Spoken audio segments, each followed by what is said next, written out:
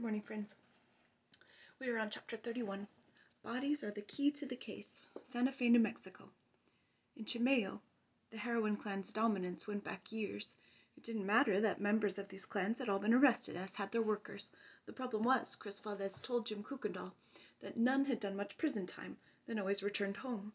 The families grew stronger, which with each demonstration of impunity. Still, the old cases interested Kuykendall. Drugs had been seized in each case. A historical record of the clan's control existed throughout those cases. Kuykendall saw there was a story to be told. Witnesses, people in prison now, users or low-rung workers who could talk about the clans, had been there when the cops barged in on one family or another. Plus those who died from heroin overdoses could speak from the grave if only if only their loved ones would talk. Their stories might tell best of all how deeply the clan's power resided in Chimayo. To Jim Kuykendall all this history was important, for it formed a story of the clan's control that might become the basis of a federal conspiracy case. He formed a team of local cops and targeted the main heroin dealing families in Chimayo, and in particular Felix Barella, who made who said he made his money from cutting firewood. a short while later, Kuykendall briefed top federal agents and prosecutors. The FBI wanted to contribute agents to go up on wiretaps. Kuykendall resisted. Wiretaps were unnecessary. The key to the case are the bodies, Kuykendall said. They each tell a story. There's a story behind who these people are, where they bought their drugs, and how they died. We need to tell that story. He got the medical examiner's reports of dozens of overdose cases that divided and divided them among the investigators. They fanned across the Espanola Valley, interviewing families of the deceased. Years before, as black tar heroin accelerated the valley's decay, each dead junkie had been viewed as one less problem. No one had cared enough to interview their families. But the families were integral to the Chimayo heroin tale, Kuykendall believed. Addicts, even those well into adulthood, often returned to live with their parents once they lost their jobs, houses, and spouses. Parents lived in torment as their children stole from them, slaves to the morphine molecule. It turned out many parents and siblings, unable to withstand the torment that would ensue if they refused, and afraid if they let their family member borrow that car that it would never be seen again, had driven the addicts to their dealers' houses. These parents, it turned out, were eager to talk. They greeted the investigators with tears and hugs. They recounted watching helplessly as their kids fell apart. One mother in tears pinched Kuykendall's cheeks as she made him promise he would get the people who sold her child heroin. These parents said the Barella family, as the school year approached, would hand out lists of what clothes their children needed.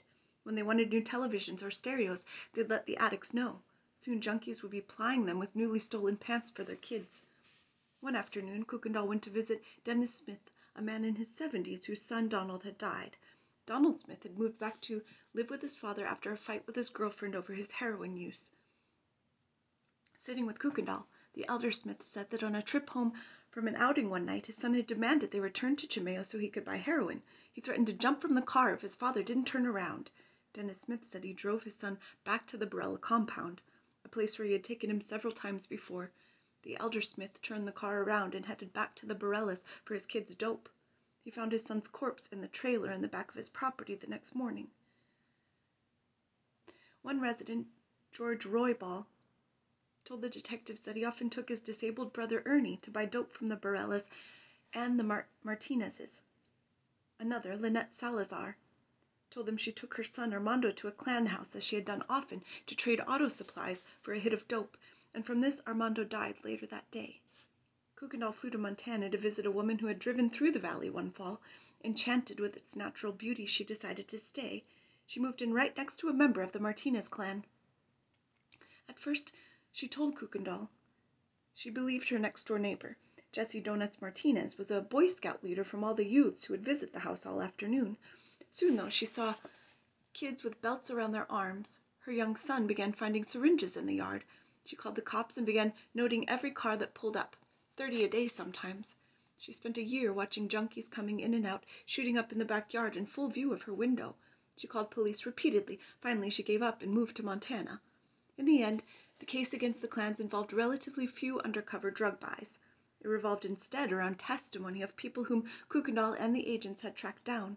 The families and friends of the dead told their stories to a grand jury, with Kuykendall finishing up to recount the history of heroin in the valley and the clan's control.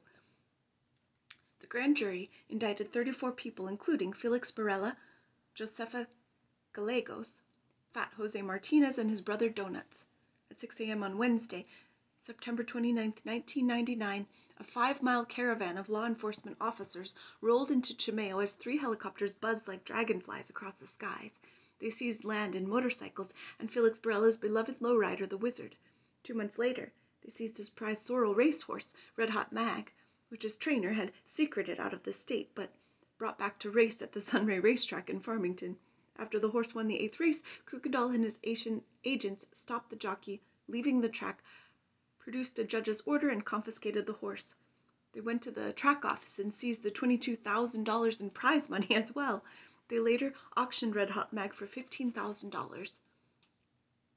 Fifteen acres of the Barella compound, where hundreds of addicts once used to buy, was deeded to the Boys and Girls Club. Without land, the clans had no base of operations. Even after leaving prison, they did not return to Chimayo. But the story of the Chimayo clans is important to our own because months before that bust, in April 1999, Jim Kuykendall and his newly deputized agents sifted through the clan's history. A body turned up in Santa Fe. A 21-year-old Mexican kid named Aurelio Rodriguez Cepeda from the small town of Xalisco in the state of Nayarit was found in the trunk of a car beaten and bloody. In the town of Xalisco Nayarit, the town of Xalisco Nayarit meant nothing to the agents at the time, other than it ironically happened to be the sister city to nearby Taos, New Mexico. Nor was the kid's murder especially intriguing. But the car in which Rodrigo Cepeda was found was registered, registered to Josefa Gallegos, the heroine matriarch of Chimayo, so they stuck with it. As it happened, Rodrigo Cepeda was found with a cellular phone. The agents plugged the numbers plugged the numbers found in the phone into a federal law enforcement database. One number turned up as connected to another heroin case that the FBI was investigating in Phoenix. Kuykendall called the FBI in Phoenix and spoke to an agent named Gary Woodling. Woodling had a strange story to tell. He was part of a group of agents tracking black tar heroin traffickers from the state of Nayarit, New Mexico. From Phoenix, these traffickers had set up a retail heroin cells across the United States in mid-major towns.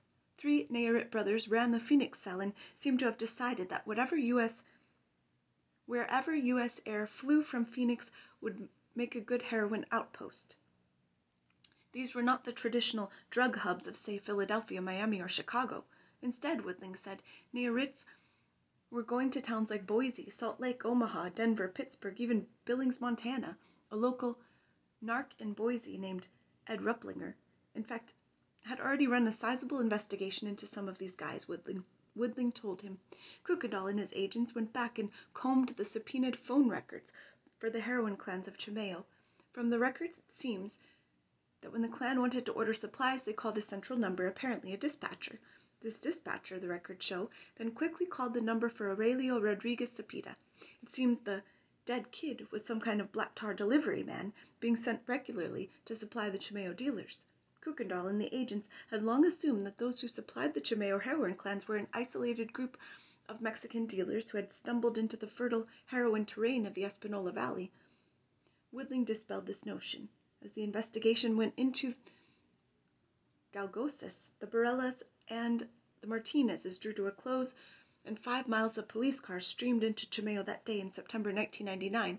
Kuykendall and his investigators knew they were onto something big. Have a good day, friends.